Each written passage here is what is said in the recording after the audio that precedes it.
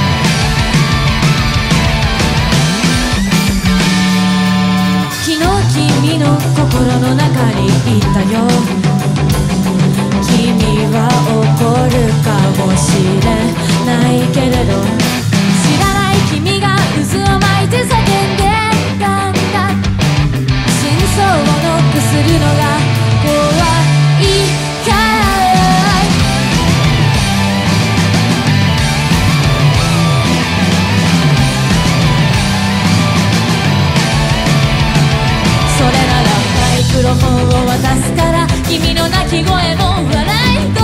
も全部聞かせてよ。大きな声で世界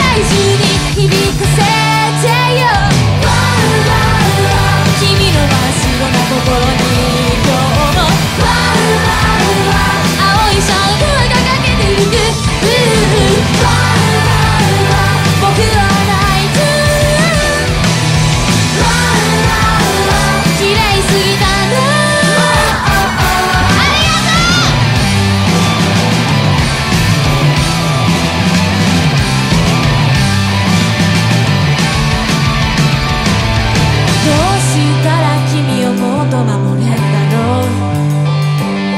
さすらと時に牙を抜いた